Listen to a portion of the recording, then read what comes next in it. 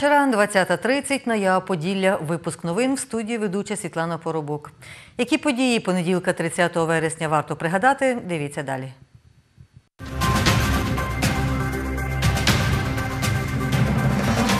Першу із 27 новозбудованих амбулаторій, які планують відкрити цьогоріч на Хмельниччині, презентували в Городоцькому районі. Акція до міжнародного дня усиновлення відбулася у Хмельницькому. Пасовище втратила громада села Гриценки Красилівського району.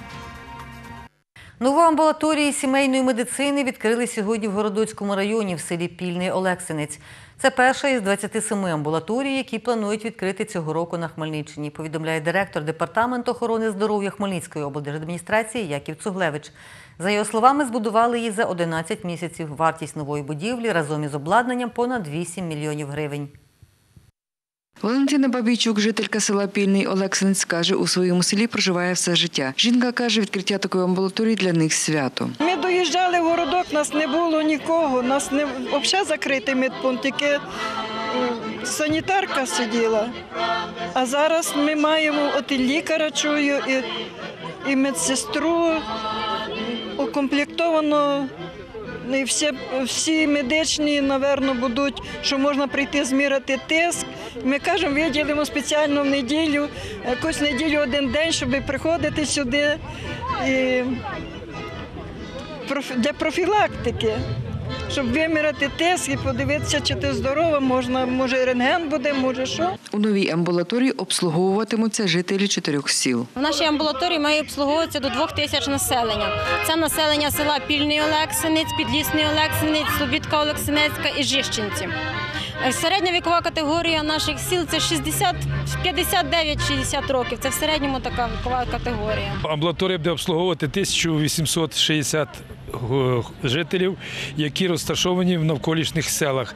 Села великі і потребують е, е, надійної, е, якісної медичної допомоги. Сімейний лікар Марія Кобільник, молодий фахівець родом зі Львівщини. На роботу до пільного Олексинця направлена по державному розподілу. Для неї в амбулаторії передбачено житло. Мені буде вигідно тут працювати і, і жити на місці. Ну, все в одній будівлі, і це зручно, нікуди не потрібно буде доїжджати. Якщо мені буде тут комфортно і мені буде тут подобатись, то я думаю, буду тут працювати і надалі.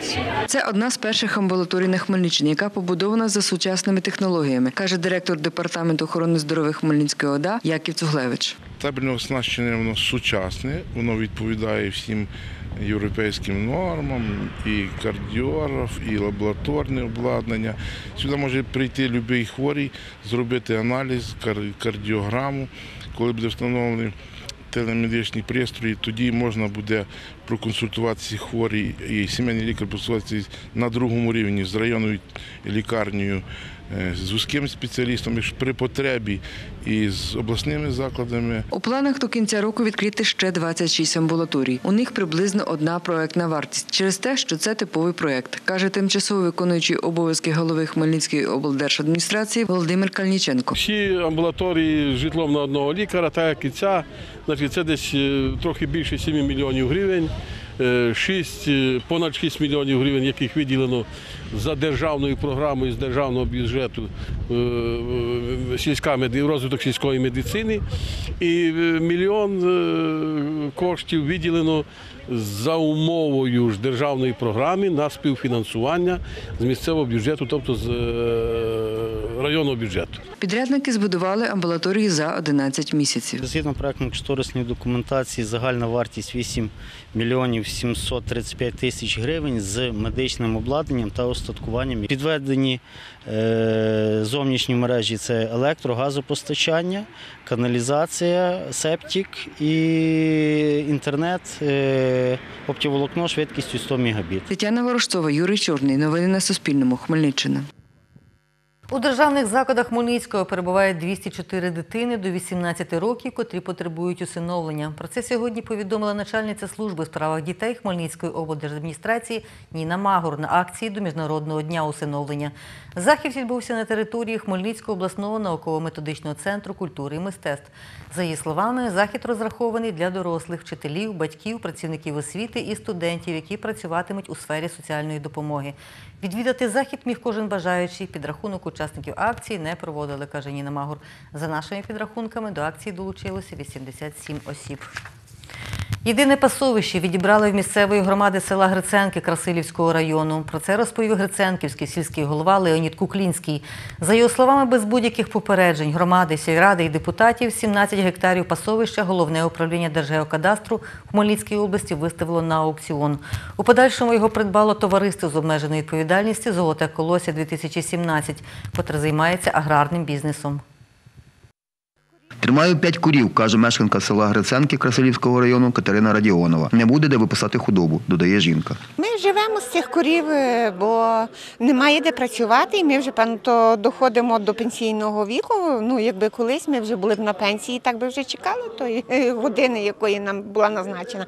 А так ще мусимо працювати, бо як же жити? Ну, будемо ходити з торбами по селі, певно, по як жити? Ну як? Ну от як люди понімають? Так вони ж мільйонери, і в них же стільки цих грошей, цього всього. Хіба цих вже кусочок землі. Я тримаю чотири, ми тримаємо чотири корові, продаємо молоко в державу, здаємо. І за ці гроші ми живемо. Купуємо коровам, корми купуємо і, і, і самі проживаємо, бо треба і газу платити, і, якась, е, якось лаха купити, щоб мати що вдягнутися. На тому пасовиську випасаємо корови. От на тому пасовиську, що його захватили, ми випасаємо там корови. Там пів села випасає корови. Леонід Куклінський ситуацію навколо пасовища вважає рейдерським захопленням землі. Ну, воно так іде по цільовому призначенні, пасовище, е, земля запасу, пасовище. От я на карті вам показував, прекрасно бачили, це карта 2002 року. Це Держгеокадастр, це я думаю, що це не я не думаю, це, це я впевнений в цьому 100%, що Держгеокадастр без відома громади, без відома, е, хоча сказав, що з 1 січня 2019 року землі будуть належати громаді, от, і буде розпоряджатися громада без нашого погодження, хоч вона і за межами населеного пункту, але все-таки є якась влада ще на селі, в нас є сільська рада, є депутатський корпус, які повинні були хоч би прийти і сказати, чи приїхати, повідомити нас, що буде проведений аукціон, чи ще щось. Ну нічого ми про це не знали. Товариство Золоте колося 2017 брало участь в аукціоні 24 вересня, каже директор товариства Сергій Савіцький. За словами Леоніда Куклінського, 17 гектарів землі оцінили у 40 тисяч гривень, а ТОВ цей лот виграло за 41 тисячу. Ми надали свої документи, пройшли перевірку і е, мали е, змогу участвувати в цьому аукціоні. Він пройшов цей аукціон, і е, наша фірма Золоте колося виграла аукціон. Будемо звертатись до прокуратури, каже Леонід Куклінський. І ми звертаємося в Генеральну прокуратуру України, тому що в обласну прокуратуру, Хмельницьку обласну прокуратуру ми звертатись не будемо, тому що це Держгеокадастр він області, і те ми зрозуміли, що там е, толку буде тяжко вести. А от люди, бачу, кричать, у них є прийомна е, до Зеленського, вони хочуть їхати до Зеленського в Київ. Аби ця справа набула більшого суспільного резонансу, жителі села звернулися до громадських активістів, каже Леонід Куклінський. У разі неповернення пасовища селянам ми готові на радикальні кроки, каже активіст громадської організації Право та справедливість Микола Олійник. Звернулися жителі Грицинецької селищної ради про допомогу е, по поводу зафа- рейдерського зафату земель і пасовищ. Це українська організація е, атошників і волонтерів.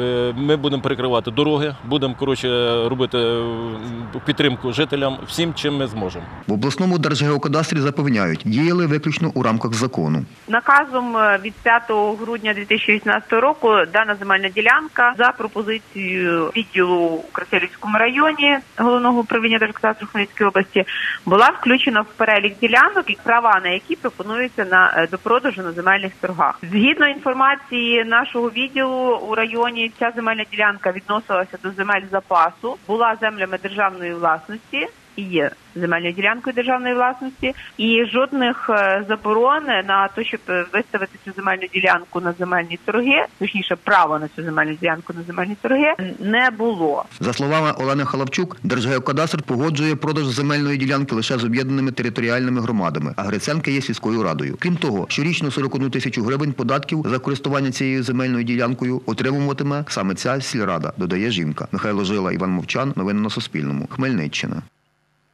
До Меджибожа прибули паломники, аби відсвяткувати Новий рік. Саме в цьому місці похований засновник Хасиду Ісраель Бен Еліазер Баал Шемтов. У релігійну історію він увійшов під ім'ям Бешт.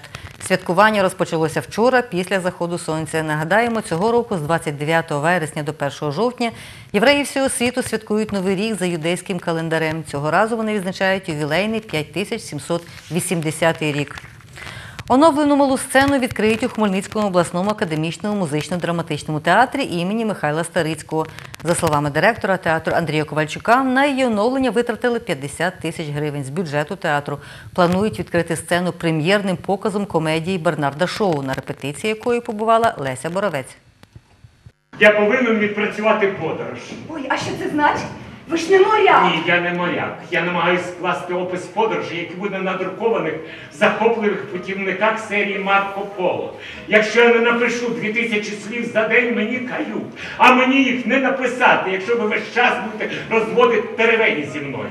Це уривок романтичної комедії Бернарда Шоу Одруження по-англійськи у режисерській постановці Нати Бударіної з Києва. Репетиція пройшла на малій сцені муздрамтеатру імені Михайла Старицького. За словами головного режисера театру Дмитра Гусакова, обирали п'єсу, керуючись всеохопленням глядацької аудиторії. Мені здається, що вона може бути цікава як і молоді, так і середньому, і старшому віку. Так як це відкриття, було важливо обрати такий матеріал, який був би цікавий різній категорії глядачів. У постановці двоє героїв він та вона. Одну з ролей зіграла актриса муздрамтеатру імені Старецького Сніжана Туткевич Самойлова. Каже, її героїня харизматична, чітко розуміє, що їй потрібно, і вперто цього добивається. Цікаво грати того, е, хто тобі не притаманний. І все, знаєте, складається з чого? З кількості репетицій. Якщо у тебе достатньо репетицій, і ти готовий, ти можеш зіграти багато чого того, що ти не вмієш. Нагадаю, вистави на малій сцені в театрі Старицького не ставили близько п'яти років. Цьогоріч, 2 жовтня, прем'єрою вистави її відкриють, розповідає головний режисер театру Дмитро Гусаков. Ми модернізували, зробили е, більш е, комфортнішу та зручнішу глядацьку залу, тому що раніше всі глядацькі крісла були на одному рівні. Тобто ми тому поміняли і одяг сцени деякий. І в принципі ми зробили майданчик на 80 місць. Дмитро Гусаков додає, мала сцена стане своєрідним стартом для молодих режисерів, постановки яких з часом можуть грати на великій сцені театру. Леся Боровець, Дем'ян Цегольник. Новини на Суспільному. Хмельницький. Збірна команда України стала чемпіонкою Європи з бойового самбо серед 15 збірних країн континенту. Змагання відбувалися в польському місті Жешув. Змагалися 235 спортсменів трьох вікових груп дорослі, юніори та юнаки. Президент Федерації бойового самбо в Хмельницькій області Олександр Марчук повідомляє, на чемпіонаті Європи виступали і самбісти Хмельницької області. Зараз ви бачите фінальну сутичку срібного призера в особистому заліку серед чоловіків Федора Рібкова з Хмельницького спортивного клубу Комбат у ваговій категорії понад 90 кілограмів. Федір у синьому. Зі слів Олександра Марчука, командне друге місце серед дорослих посіла команда Молдови, третя Польщі. Переможцями були українські юніори та юнаки. В командному заліку серед юніорів срібло дісталося словакам, бронза французам. У цій віковій групі в особистому заліку бронзовим призером став Андрій Шамрай з Шепетівського клубу Пересвіт у вазі 68 кілограмів. А серед юнаків, де українська команда також стала чемпіонкою, друге і третє місця посіли команди Молдови та Польщі. У змаганнях юнаків брав участь хмельничанин Антон Марчук ваговій категорії понад 82 кілограми. Юнак в особистому заліку став бронзовим призером. До змагань спортсменів готували тренери Олександр Марчук, Олег Рудіч та Дмитро Дмитрач. 50 учасників взяли участь у чемпіонаті міста Хмельницького з мотокросу на Кубок міського голови. Змагання відбувалися на території середньої загальноосвітньої школи номер 12. Побував на змаганнях і наш кореспондент Андрій Гуменний.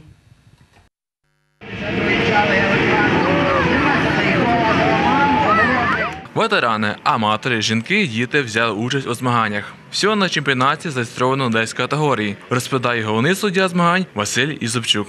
1960 метрів до- довжина доріжки, і відповідно в кожному класі буде е, пофилинно складена. Ну вже є регламент затверджений змагань. Клас мотоциклів Open MX2 буде долати доріжку 20 хвилин. Відповідно, діти будуть їхати 12 хвилин. Наймолодші діти вікової категорії від е, 5 до 9 років будуть 7 хвилин їхати. Аматори будуть їхати 15 хвилин і квадроцикли також 15 хвилин. Першу перемогу серед аматорів здобуває Олександр Ліпінський. Чоловік каже, на цих змаганнях потужні мотоцикла не відіграє важливу роль. Ну, На цій трасі вони ці мотоцикли рівні, що у нас є 250, є 450. Ці мотоцикли тут рівні. Траса без підйомів, спусків, вона тут на такому е, рівнині, рівнині. І тут мотоцикли однакові. Залежить від підготовки, від майстерства самого гонщика. Серед дітей перемогу на першому заїзд здобуває Остап Андрух із міста Бучач. Я їжджу в класі 65 сантиметрів кубічних. Я їжджу е, два роки. Батько Остапа Андруха Володимир Андрух підтримує таке захоплення сина. Син почав займатися, якщо точно, перший раз сів на мотоцикл в квітні минулого року. В квітні минулого року, десь рік, півроку ми проїздили самостійно без тренера, потім ми почали займатися з тренером. Дмитро Денисюк їздить на мотоциклі вже давно, проте взяти участь у змаганнях з мотокросу б не наважився, каже чоловік. Я би боявся брати участь у змаганнях. Ну, для мене би спостерігати, подивитися, як, е, як вміють е, проходити повороти і е, їздити по трасі. В майбутньому в Хмельницькому планують проводити міжнародні змагання з мотокросу, розповідає начальник управління молоді та спорту Хмельницької міської ради Сергій Ремес. Є плани відроджувати цей вид спорту, е, в майбутньому зробити проєктно-кошторисну документацію для проведення тут капітальних робіт, для того, щоб відновити, зробити сучасний тут мототрек, для того, щоб було проводити тут і змагання всеукраїнського і міжнародного рівня. Андрій Гюменний, Іван Мовчан. Новини на Суспільному. Хмельницький. Наостанок випуску нагадую, що всі наші випуски ви можете переглядати в мережі YouTube, а всі наші матеріали на нашій сторінці Facebook та на нашому сайті. До побачення.